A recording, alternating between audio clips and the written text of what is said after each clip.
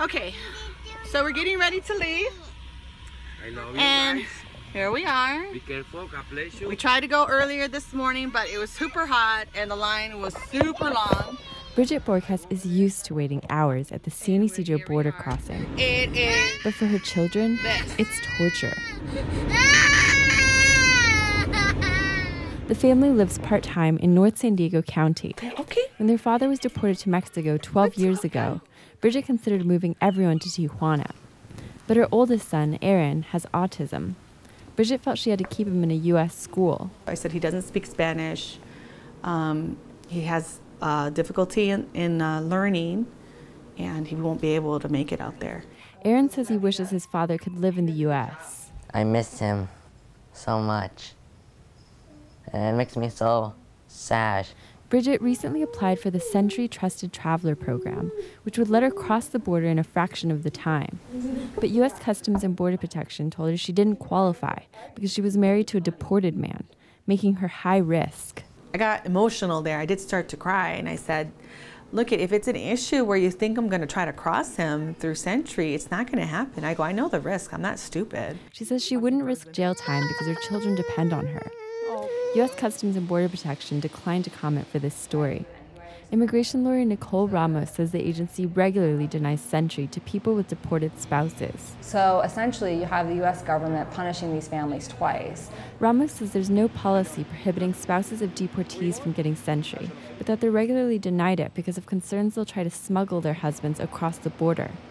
She says these are the people who could most benefit from SENTRI because of their cross border lives. I know women that have developed back problems while sitting in line, women that have developed anxiety problems from sitting in line. It's exactly 601 right now.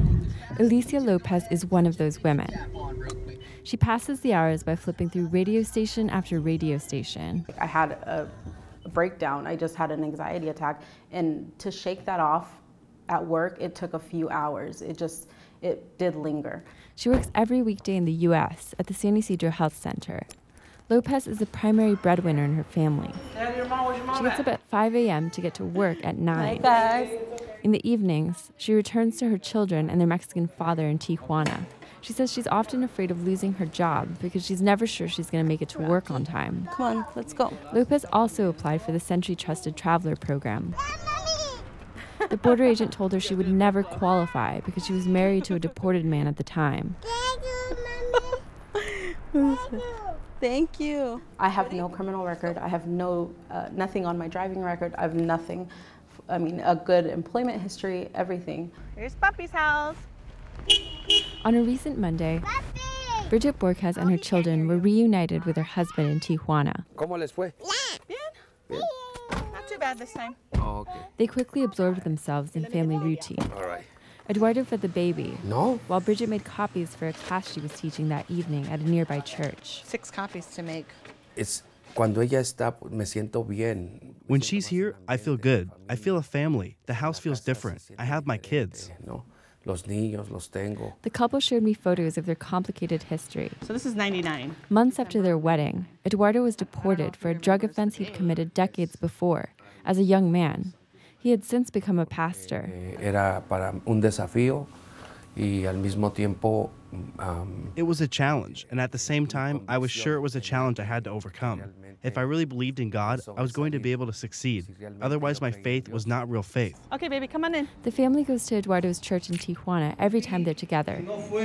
Bridget thinks if it weren't for their faith and Eduardo's preaching, they wouldn't have been able to make their cross border lives work. When they feel despair, they turn to the Bible.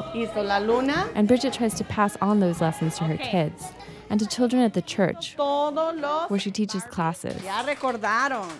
If God wasn't that center in our lives, things just would collapse. It would. Espíritu de Dios Eduardo says the hardest part is not being able to play an active role in his children's lives in the U.S. nunca pude, no he tenido hasta hoy el I've never had the happiness of taking my son to school. All of that, I missed it. Yeah. He missed all of that. Bridget plans to reapply for SENTRI in case the next border agent sympathizes. Y con todo el corazón, Señor. Jean Guerrero, KPBS News.